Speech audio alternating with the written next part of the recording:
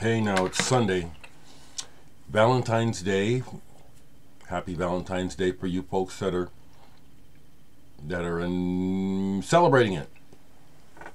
Um, I'm single, uh, kind of um, dedicatedly single.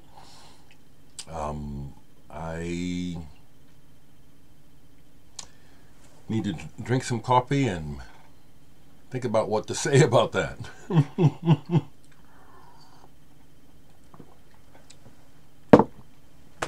I'm definitely one of those people who does better by himself. I've tried to be a coupler, but people mention records, and um, sometimes I just feel like I just just want to, you know, I know about these things. This is an original, Roberto Cacciapaglia, Sei Note in Logica. I've had this for a long time. But the one that I really like by him is this one, Sonanze. And again, I've had this forever. Really cosmic. Really like that a lot. Another one that was mentioned that I have, there were some mentioned that I don't have, but I know about this stuff. I don't know everything, but I'm not a know-it-all, but um, I do have, um, I do know, I do know something. Luciano Cilio. This is really hard to find. So I, uh, I've made a copy. I'm interested in being interested. Third Ear Band was mentioned. I've had more of their records, and I had Macbeth and sold it like a dummy. Not a dummy, but you know, life goes through changes watching documentaries. Last night uh, I watched uh, um, one on Bernie Worrell, and I have to agree with what they said about him. It's like he is a, a, a monster keyboardist who will likely, he's gone now,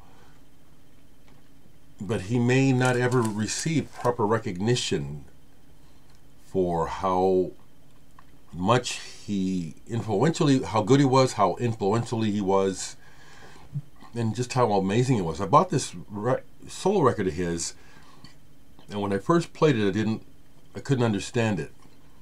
And after watching that uh, documentary last night, this is first on the turntable today. I think I'll understand what where it's coming from a lot more.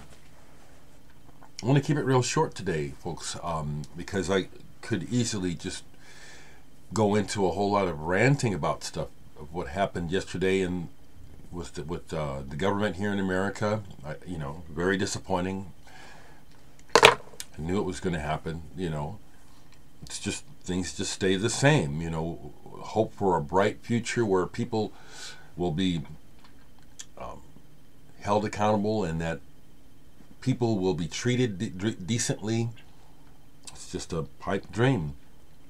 Just a pipe dream. And um, regarding Valentine's Day, um, I, I think that I'm um, I'm not romantic, and yet I am.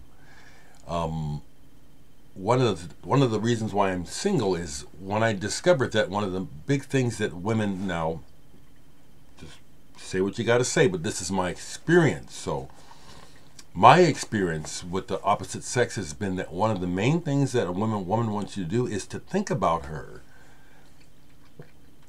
and show her that you're thinking about her and once I once I understood that with a few girlfriends that I've had, and some of that really some of them I've really loved, really and strongly attracted to, it's like that's not how I operate. I've got my own agenda, and I'm not replacing mine with yours. And I'm not interested in blending them together. I know that a lot of that's when it really works. I'm not envious I'm really not, but I see it. I see where couples who work well together, you know, love is is thorny. It is, but people who find each other and make it work together, that's amazing. But I I still don't really want that personally. I want you to leave me the fuck alone. okay, folks, have a good day.